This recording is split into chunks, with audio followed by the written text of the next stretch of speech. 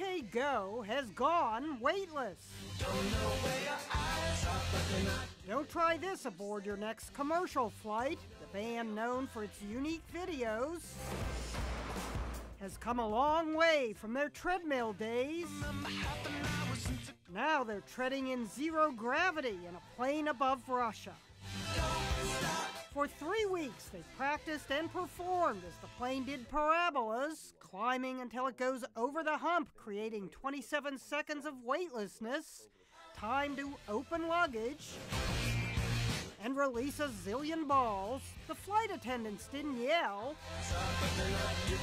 They're actually trained aerial acrobats. Lead singer Damian Kulash called the whole zero G experience exciting and terrifying it's a very difficult physical sensation and it, it just causes a lot of sort of like fear and panic. Russia's S 7 airline offered OK Go the plane in exchange for using the results in a marketing campaign.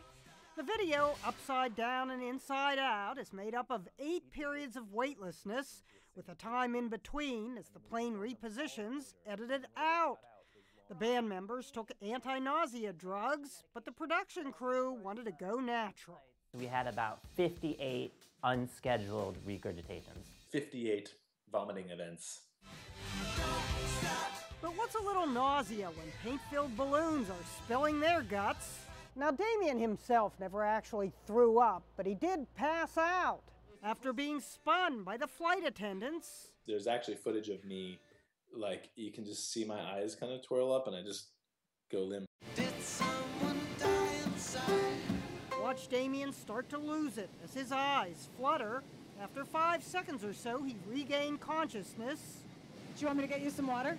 No, I want you to get me some gravity. Jeanne Moos, CNN.